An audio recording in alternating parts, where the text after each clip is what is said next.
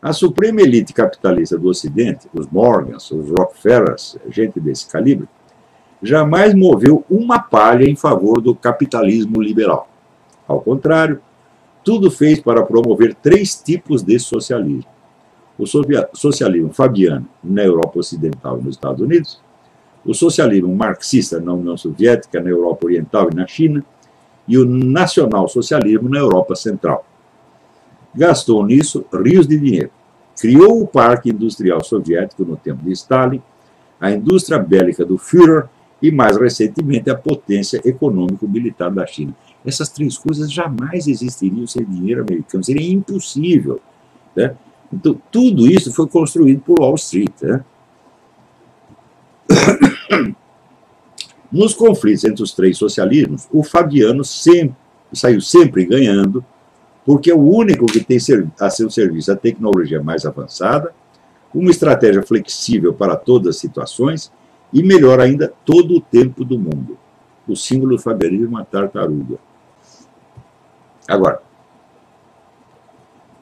a Sociedade Fabiana foi fundada em 1883 é a escola de pensamento mais influente entre as elites ocidentais, ocidentais até hoje.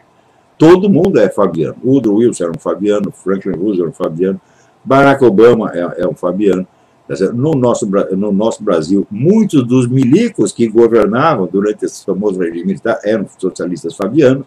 Tá e assim por diante. Então, o socialismo fabiano é o socialismo daqueles que não tem nenhuma pressa de implantar o socialismo. Então, por isso, quando tem um experimento socialista, seja comunismo nacional-socialista, eles ajudam, eles dão dinheiro. Porque eles querem ver no que vai dar. Falam, bom, quem sabe a gente pode aproveitar alguma coisa disto. E sempre acaba aproveitando mesmo. Né? Então, apareceu lá o socialismo na União imediatamente, né, os Morgans, Crimson Labor, etc., todo mundo tinha dinheiro aqui, encheu os caras de dinheiro para montar o socialismo dizendo claramente que esse dinheiro é para ajudar os bolcheviques a consolidar o seu regime. Né?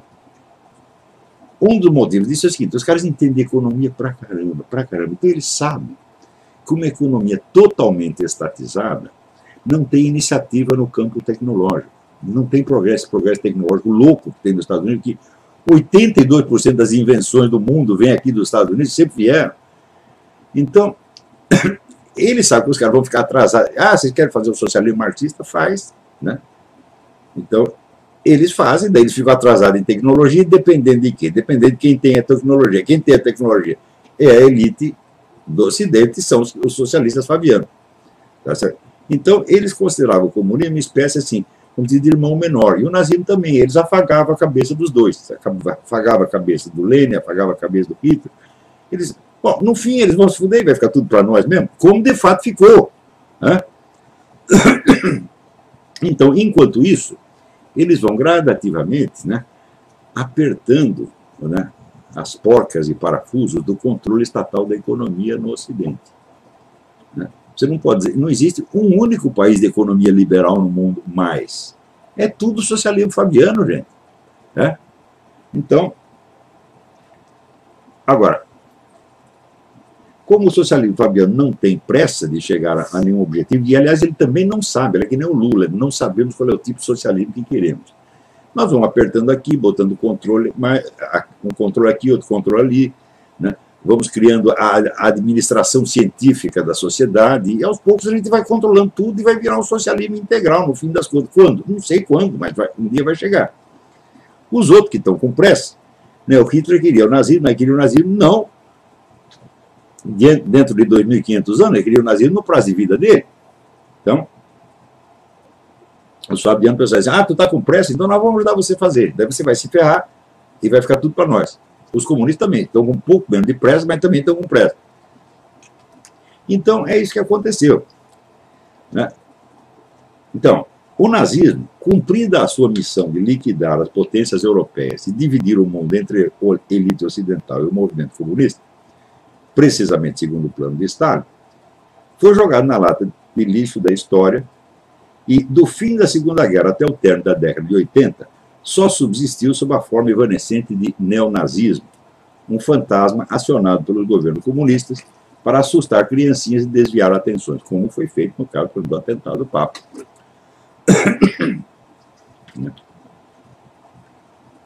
O fabianismo, então acabou o nazismo, sobrou os outros dois, né? O socialismo fabiano, o socialismo marxista. O fabianismo nunca foi inimigo do socialismo marxista. Adora-o e cultiva-o, porque a economia marxista, incapaz de progresso tecnológico, lhe garante mercados cativos. E também porque sempre considerou o comunismo um instrumento da sua estratégia global. Os comunistas, é claro, respondem na mesma moeda, tentando usar o socialismo fabiano para seus próprios fins e infiltrando-se em todos os partidos socialistas democráticos do Ocidente. Então isso aí é briga de irmãos, você está entendendo? Cada um tenta avançar um pouquinho aqui, avançar um pouquinho, mas não há confronto. Você veja, o máximo de anticomunismo que inventaram no Ocidente foi a tal da política de contenção. O que é política de contenção? A União Soviética já tinha dominado metade do mundo, eles bom, então agora você para aí, essa metade de cá é nossa. Mas eles não fizeram nada contra o comunismo. Nunca, nada. Né? Eles podiam liquidar o regime comunista a qualquer momento. Quando terminou a Segunda Guerra, né, o exército da União Soviética estava em frangalhos, a economia estava totalmente destruída, todo mundo de pires na mão perante os banqueiros americanos. Eles podiam ter dito: não, nós não vamos te dar dinheiro mais. Né? Acabou. Teria acabado o comunismo em 1945. Né? Por que não fizeram isso? Porque eles queriam manter o comunismo. Não, nós precisamos desses caras, deixa eles fazer o socialismo deles lá, a gente ajuda. Porque no fim quem vai ganhar somos nós mesmos. Então, isso quer dizer que este, esta, esta brincadeira tá certo? de você alimentar nazista, alimentar comunista, tá certo?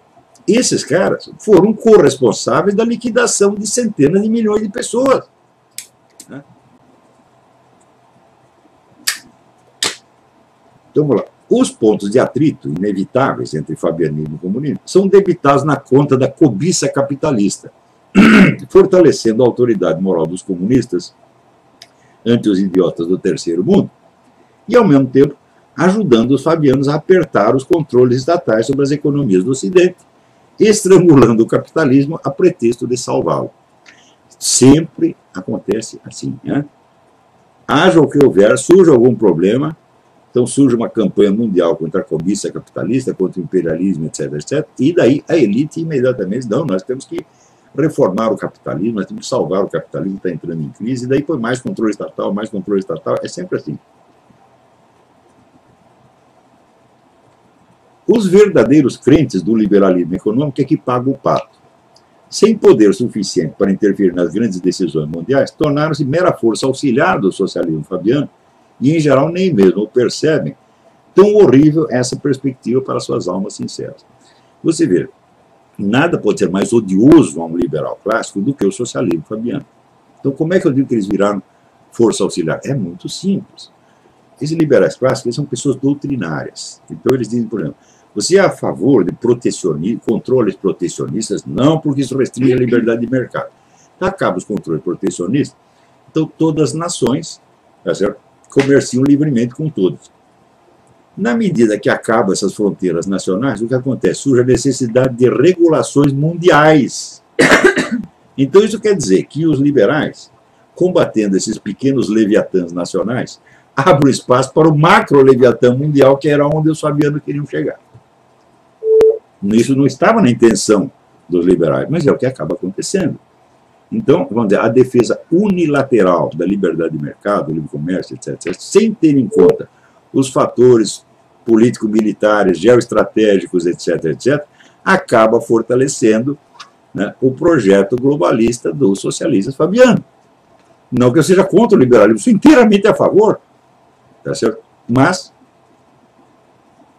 né, é preciso fazer as coisas tendo em conta o contexto global onde elas estão acontecendo, e não assim, a pura, né, seguir o artigo de fé, o livre mercado. Então, o livre mercado é o princípio geral universal. Fala, não, não pode ser o princípio geral universal.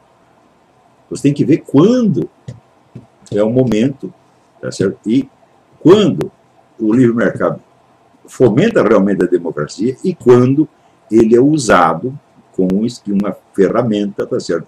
Por pessoas que têm um plano mais abrangente, como é exatamente o caso. Então, Mas, às vezes, a concorrência fraterna entre fabianos e comunistas desanda. Com a queda da União Soviética, aqueles, os fabianos, acharam que tinha chegado a hora de colher os lucros da sua longa colaboração com o comunismo. E caíram sobre a Rússia como abutres, comprando tudo a preço vil, inclusive as consciências dos velhos comunistas. O Alexandre Dugin está puto com isso até hoje, foi no tempo do Yeltsin, né? Ele abriu as portas e foi toda esta gente, dos, a elite econômica ocidental, que não é capitalista liberal, que é socialista fabiano, foi lá comprou tudo. O núcleo da elite soviética, porém, a KGB, não consentiu em amoldar-se ao papel secundário que agora lhe era destinado na nova etapa da Revolução Mundial. Porque, olha, sempre o problema foi esse, entre socialismo fabiano e socialismo marxista. Assim, nós dois somos socialistas, nós dois estamos indo na mesma direção. Então, interessa saber quem controla o processo e quem serve de instrumento ao outro. Então, os fabianos tentavam fazer o comunista servir de instrumento e os comunistas faziam vice-versa. No fim, os fabianos acabaram ganhando. Porém, o pessoal da KGB ficou muito puto com isso. Falou, não, nós não... Né? Agora eles conseguiram, agora eles nos transformaram em seus empregados, mas nós não queremos isso. Então, a KGB admitiu a derrota do comunismo, mas não a sua própria. Levantou a cabeça, reagiu e criou do nada uma nova estratégia independente, o eurasianismo, mais hostil a todo o Ocidente do que o comunismo jamais foi. Então, o MacArthur teria feito na China o que ele fez no Japão. Implantou a democracia lá, a democracia no Japão funciona até hoje. Ele ia fazer a mesma coisa na China. O Truman não deixou. Não deixou por quê? Ah, escapa do plano do que da grande elite fabiana. Né? Note bem, esta colaboração desta elite com os governos comunista e nazista foi mais colaboração, foi um apadrinhamento. Eles praticamente criaram essas economias, criaram a economia soviética, criaram a economia nazista. Nada existiria sem isto, porra. Né? Então, quem estudou isso durante muitos anos foi Anthony Sutton, que era um economista inglês que estava aqui trabalhando no, no, Instituto, no Instituto Hoover. E ele fez um, um tratado em três volumes sobre transferência de tecnologia do Ocidente para a União Soviética. E mostrou o seguinte: o parque industrial soviético fomos nós que fizemos, nós fizemos tudo. A indústria soviética não existe, fomos nós que fizemos, pô. Daí ele recebeu a pessoal da diretoria do Hoover, chamou ele num canto, falou: não, isso aí não pode dizer, você fica quieto, papapá, papapá. Ele se encheu o saco e pediu demissão do Hoover. Né? Então, Você vê que essa elite toda, tem muita gente dentro dela que não é nem os próprios capitalistas, são intelectuais, professores, que estão conscientes da política geral. Mas mantém discreto. Não se pode dizer que é uma conspiração, porque uma coisa desse tamanho não é conspiração, evidentemente. Isso é um vasto movimento ideológico que tem 100 anos, tá que domina o panorama político dos Estados Unidos. Pelo menos o Partido Democrata domina inteiro. E no Partido Republicano está cheio de Fabiano também.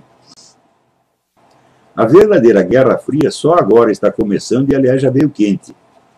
A concorrência entre capitalismo e socialismo foi um véu ideológico para o uso das multidões, mas a luta entre o Oriente e o Ocidente é para valer.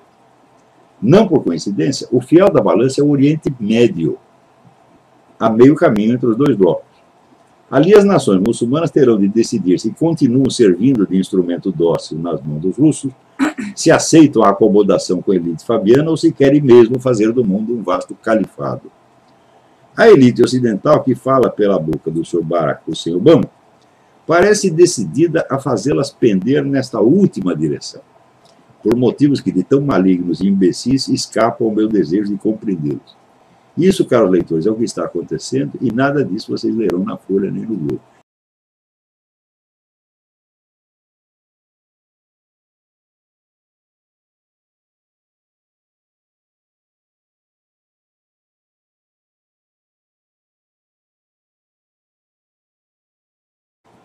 Os verdadeiros crentes do liberalismo econômico é que pagam o pato. Sem poder suficiente para intervir nas grandes decisões mundiais, tornaram-se mera força auxiliar do socialismo fabiano e, em geral, nem mesmo percebem tão horrível essa perspectiva para suas almas sinceras. Você vê, nada pode ser mais odioso a um liberal clássico do que o socialismo fabiano. Então, como é que eu digo que eles viraram força auxiliar? É muito simples. esses liberais clássicos são pessoas doutrinárias. Então eles dizem, por exemplo, você é a favor de protecionismo, controles protecionistas? Não, porque isso restringe a liberdade de mercado. Acaba os controles protecionistas, então todas as nações tá certo? comerciam livremente com todos. Na medida que acabam essas fronteiras nacionais, o que acontece? Surge a necessidade de regulações mundiais. Então, isso quer dizer que os liberais, combatendo esses pequenos leviatãs nacionais, abrem espaço para o macro-leviatã mundial, que era onde os fabianos queriam chegar. Isso não estava na intenção dos liberais, mas é o que acaba acontecendo. Então, vamos dizer, a defesa unilateral da liberdade de mercado, do livre comércio, etc., etc., sem ter em conta os fatores político-militares, geoestratégicos, etc., etc., acaba fortalecendo né, o projeto globalista dos socialistas fabiano. Não que eu seja contra o liberalismo, sou inteiramente a favor, tá certo? Mas né, é preciso fazer as coisas tendo em conta o contexto global onde elas estão acontecendo. E não assim, a pura. Né, seguir o artigo de fé. O livre mercado. Então, o livre mercado é o princípio geral universal. Fala, não, não pode ser o princípio geral universal. Você tem que ver quando é o momento, tá certo? E quando o livre mercado fomenta realmente a democracia e quando ele é usado como uma ferramenta, tá certo? Por pessoas que têm um plano mais abrangente, como é exatamente o caso. Então, mas às vezes a concorrência fraterna entre fabianos e comunistas desanda. Com a queda da União Soviética, aqueles, os fabianos, acharam que tinha chegado a hora de colher os lucros da sua longa colaboração com o comunismo. E caíram sobre a Rússia como abutres, comprando tudo a preço vil, inclusive as consciências dos velhos comunistas. O Alexandre Dugin está puto com isso até hoje. Foi no tempo do Yeltsin, né? Ele abriu as portas e foi toda esta gente. Dos, o socialismo fabiano, o socialismo marxista. O fabianismo nunca foi inimigo do socialismo marxista. Adora-o e cultiva-o, porque a economia marxista, incapaz de progresso tecnológico, lhe garante mercados cativos. E também porque sempre considerou o comunismo um instrumento da sua estratégia global. Os comunistas, é claro, respondem na mesma moeda, tentando usar o socialismo fabiano para seus próprios fins e infiltrando-se em todos os partidos socialistas democráticos do Ocidente. Então isso aí é briga de irmãos, você entendendo? Cada um tenta então, avançar um pouquinho aqui, avançar um pouquinho, mas não há confronto. Você veja, o máximo de anticomunismo que inventaram no Ocidente foi a política de contenção. O que é política de contenção? A União Soviética já tinha dominado metade do mundo. Eles dizem, bom, então agora separa aí, essa metade de cá é nossa. Mas eles não fizeram nada contra o comunismo. Nunca, nada. Né? Eles podiam liquidar o regime comunista a qualquer momento. Quando terminou a Segunda Guerra, né, o exército da União Soviética estava em frangalhos, a economia estava totalmente destruída, todo mundo de pires na mão perante os banqueiros americanos. Eles podiam ter dito: não, nós não vamos te dar dinheiro mais. Né? Acabou. Teria acabado o comunismo em 1945. Né? Por que não fizeram isso? Porque eles queriam manter o comunismo. Não, nós precisamos desses caras, deixa eles fazer o socialismo deles lá, a gente ajuda. Porque no fim quem vai ganhar somos nós mesmos.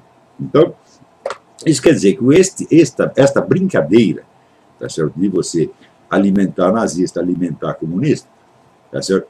esses caras foram corresponsáveis da liquidação de centenas de milhões de pessoas. Né? Então, vamos lá. Os pontos de atrito inevitáveis entre fabianismo e comunismo são debitados na conta da cobiça capitalista, fortalecendo a autoridade moral dos comunistas ante os idiotas do terceiro mundo e, ao mesmo tempo, ajudando os fabianos a apertar os controles estatais sobre as economias do Ocidente, estrangulando o capitalismo a pretexto de salvá-lo. Sempre acontece assim. Né? Haja o que houver, surge algum problema, então surge uma campanha mundial contra a cobiça capitalista, contra o imperialismo, etc, etc. E daí a elite imediatamente, não, nós temos que reformar o capitalismo, nós temos que salvar o capitalismo que está entrando em crise, e daí põe mais controle estatal, mais controle estatal, é sempre assim. O louco que tem nos Estados Unidos, que 82% das invenções do mundo vem aqui dos Estados Unidos, sempre vieram. Então, ele sabe que os caras vão ficar atrasados. Ah, vocês querem fazer o socialismo marxista? Faz, né? Então, eles fazem, daí eles ficam atrasados em tecnologia, dependendo de quê? Dependendo de quem tem a tecnologia. Quem tem a tecnologia é a elite do Ocidente, são os socialistas fabianos. Tá então, eles consideravam o comunismo uma espécie assim, como diz, de irmão menor. E o nazismo também, eles afagavam a cabeça dos dois. Afagavam a cabeça do Lenin, afagavam a cabeça do Hitler. Eles, bom, no fim, eles vão se fuder, vai ficar tudo para nós mesmo, como de fato ficou. Né?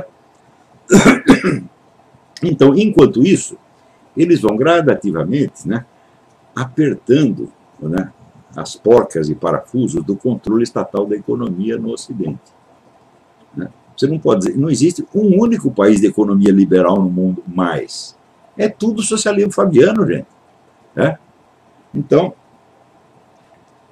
agora, como o socialismo fabiano não tem pressa de chegar a nenhum objetivo, e aliás ele também não sabe, ele é que nem o Lula, não sabemos qual é o tipo de socialismo que queremos. Nós vamos apertando aqui, botando controle, um controle aqui, outro controle ali, né? vamos criando a administração científica da sociedade, e aos poucos a gente vai controlando tudo e vai virar um socialismo integral, no fim das contas. Quando? Não sei quando, mas vai, um dia vai chegar. Os outros que estão com pressa, né, o Hitler queria o nazismo, mas queria o nazismo, não, dentro de 2.500 anos, ele queria o nazismo no prazo de vida dele. Então, os fabianos pensaram assim, ah, tu está com pressa, então nós vamos ajudar você a fazer. Daí você vai se ferrar e vai ficar tudo para nós. Os comunistas também estão com um pouco menos de pressa, mas também estão com pressa. Então, é isso que aconteceu. Né? Então, o nazismo, cumprida a sua missão de liquidar as potências europeias e dividir o mundo entre a elite ocidental e o movimento comunista, precisamente segundo o plano de Stalin, foi jogado na lata de lixo da história e, do fim da Segunda Guerra até o término da década de 80, só subsistiu sob a forma evanescente de neonazismo, um fantasma acionado pelos governos comunistas para assustar criancinhas e desviar atenções, como foi feito no caso do atentado do Papa.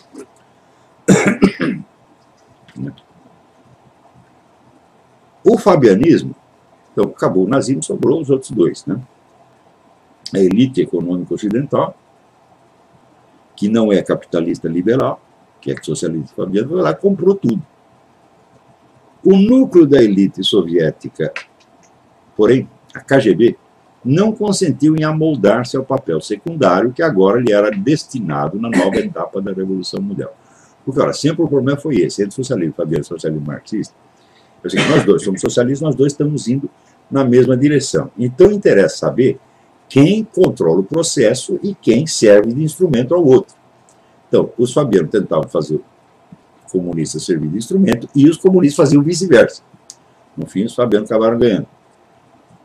Porém, o pessoal da KGB ficou muito puto com isso. Falou, não, nós não...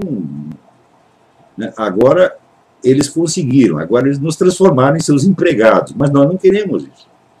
Então, a KGB admitiu a derrota do comunismo, mas não a sua própria. Levantou a cabeça, reagiu e criou do nada uma nova estratégia independente, o eurasianismo, mais hostil a todo o Ocidente do que o comunismo jamais foi. Então, o MacArthur teria feito na China o que ele fez no Japão. Implantou a democracia lá, a democracia no Japão funciona até hoje. Ele ia fazer a mesma coisa na China. O Truman não deixou. Não deixou por quê? À escapa do plano do que da grande elite fabiana. Né? Note bem, esta colaboração desta elite com os governos comunista e nazista foi uma colaboração, foi um apadrinhamento. Eles praticamente criaram essas economias, criaram a economia soviética, criaram a economia nazista. Nada existiria sem isto, porra. Né? Então, quem estudou isso durante muitos anos foi Anthony Sutton, que era um economista inglês que estava aqui trabalhando no, no, Instituto, no Instituto Hoover. E ele fez um, um, tratado em três volumes sobre transferência de tecnologia do Ocidente para o não soviético. E mostrou o seguinte: o parque industrial soviético fomos nós que fizemos, nós fizemos tudo. A indústria soviética não existe, fomos nós que fizemos, pô. Daí ele recebeu a pessoal da diretoria do Hoover, chamou ele num canto, falou, não, isso aí não pode dizer, você fica quieto, papapá, papapá, ele se encheu o saco pediu demissão do Hoover. Né? Então, você vê que essa elite toda, tem muita gente dentro dela que não é nem os próprios capitalistas, são A suprema elite capitalista do Ocidente, os Morgans, os Rockefellers, gente desse calibre, jamais moveu uma palha em favor do capitalismo liberal. Ao contrário, tudo fez para promover três tipos de socialismo. O socialismo fabiano na Europa Ocidental e nos Estados Unidos, o socialismo marxista na União Soviética, na Europa Oriental e na China, e o nacional-socialismo na Europa Central gastou nisso rios de dinheiro. Criou o Parque Industrial Soviético no tempo de Stalin, a indústria bélica do Führer e, mais recentemente, a potência econômico-militar da China. Essas três coisas jamais existiriam sem dinheiro americano, seria impossível. Né? Então, tudo isso foi construído por Wall Street. Né? Nos conflitos entre os três socialismos, o Fabiano sempre, saiu sempre ganhando, porque é o único que tem a seu serviço a tecnologia mais avançada, uma estratégia flexível para todas as situações e, melhor ainda, todo o tempo do mundo. O símbolo do fabianismo é uma tartaruga. Agora, a Sociedade Fabiana foi fundada em 1883. É a escola de pensamento mais influente entre as elites ocidentais, até hoje. Todo mundo é fabiano. Woodrow Wilson era um fabiano, Franklin Roosevelt era um fabiano, Barack Obama é, é um fabiano. No nosso, no nosso Brasil, muitos dos milicos que governavam durante esse famoso regime militar eram socialistas fabianos. E assim por diante. Então, o socialismo fabiano é o socialismo daqueles que não têm nenhuma pressa de implantar o socialismo. Então, por isso, quando tem um experimento socialista, seja o comunismo, o nacional-socialista, eles ajudam, eles dão dinheiro. Porque eles querem ver no que vai dar. Falam, bom, quem sabe a gente pode aproveitar alguma coisa disto. E sempre acaba aproveitando mesmo. Né? Então, apareceu lá o socialismo na União Soviética, imediatamente, né, os Morgans, Crimson Labor, etc., todo mundo tinha dinheiro aqui, encheu os caras de dinheiro para montar o socialismo, dizendo claramente esse dinheiro é para ajudar os bolcheviques a consolidar o seu regime. Né? Um dos motivos disso é o seguinte: os caras entendem economia pra caramba, pra caramba. Então eles sabem que uma economia totalmente estatizada não tem iniciativa no campo tecnológico, não tem progresso, progresso tecnológico